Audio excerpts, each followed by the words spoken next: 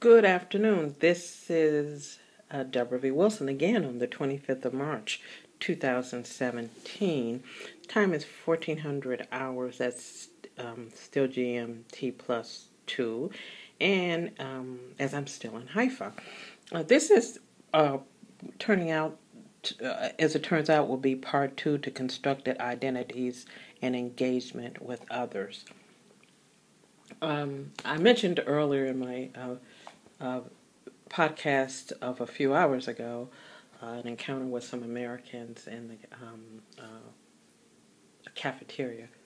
Uh, to, uh, later today, just recently, uh, just for about almost, I guess, an hour, I crossed paths with those Americans again, and it's a faith-based group, and we ended up having a long conversation about the state of America and then um, my focus um, on national security and looking at national security from a civilian perspective. And um, in any any case, uh, the, the uh, part of the discussion uh, uh with people from this faith-based group uh, was um, impacted by the fact that one of them is a former military person, U.S. military.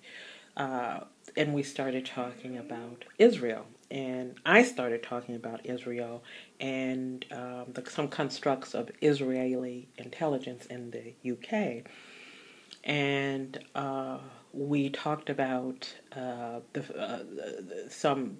This person gave his opinion about Israel's uh, intelligence community being uh, inquisitive and highly intelligent. And then I thought about the fact that in the UK, I did encounter Israelis. That's the only thing I can definitively say.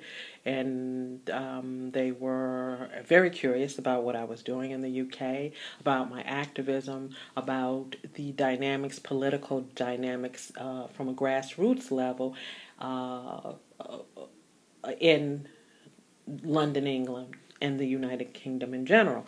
And this brought me back to constructed identities. Uh, it's fair to say, and my father used to often say, that uh, African Americans, uh, uh Black Americans, he would say, and uh, Jewish uh, Americans are the same, the same coin but the opposite sides of the same coin. The constructed identity, one of the constructed identities of Jewish Americans, and I would venture to say Jews in general, is that a, a people of intelligence, a people who love to learn and are good at learning. Uh, the constructed identity of uh, black Americans, now African Americans, I don't think anyone would say that, unfortunately. And part of that, uh, const- what happens in the constructed identity, those constructed identities, is that the people uh, who are within that construct sometimes make the decision to internalize those constructs and willingly occupy them. Black people are good at sports. We're all really good at sports. We're also good at physics, but that's not one of our constructed identities. They're brilliant African Americans in math, physics, business. I could go on, but that's not our constructed identity. In any case, we talked about the, our perceptions of Israeli intelligence and um, the their constructed identity of being smart people. And in part, that is because the constructed identity of Jews is being smart people. And I, I, I thought about the conversations that I had with people who identified themselves as Israelis in London, England, and the nature of those conversations. And those conversations were always based in sociological discourse, political discourse, historical discourse about what Britain's um, grassroots communities were like, how they were manifesting, and what works were emanating from those communities. It is, for me, the reason, one of the many reasons I came to this country.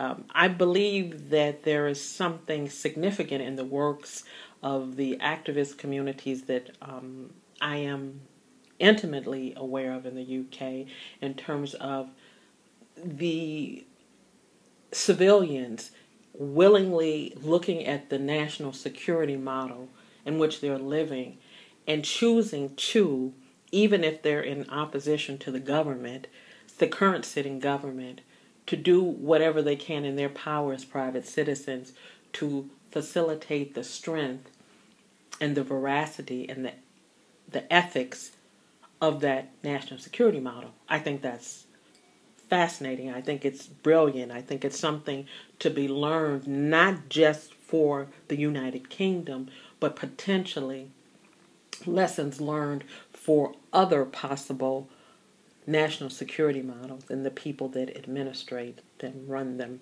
Um, so this morning I was particularly focused on identity, constructed identities, and I think um, the constructed one of the constructed identities uh, for Jewish people, and there's some that are not pleasant. Uh, we all know that. At least I hope you know that. Um, is of being an intelligent people, and I thought to myself to then work in an intelligence community in which your collective constructed identity is a good one. It's a really good one as a person, and then to step into your role and to do what intelligence community is tasked to do. Be intelligent, be smart, be creative, be engaging, learn the world. It's um, today, I think, is the whole construct for me of how understanding of the construct of identity, who we are, who we are constructed to be, and how we manage that, what we internalize, what works for us, and what doesn't. It can sometimes work for people to adopt and internalize negative constructs. Again, that's another podcast. Uh, this is Debra V. Wilson. I'm still in Haifa. I'm still looking and learning and um, trying to understand the world. But that was part two of um, my meeting with some Americans. I'm glad to be here. I am acutely interested in understanding um, from a u- nuanced perspective what the people in this country make of the security model, what their conceptualizations of the security model, intersecting their constructed identities mean for national security, and wondering how nuanced the understanding the state constructed security model has. Just a bit about identities today, and this is part two. Again, this is Debra V. Wilson. I'm in Haifa, Israel. Thank you.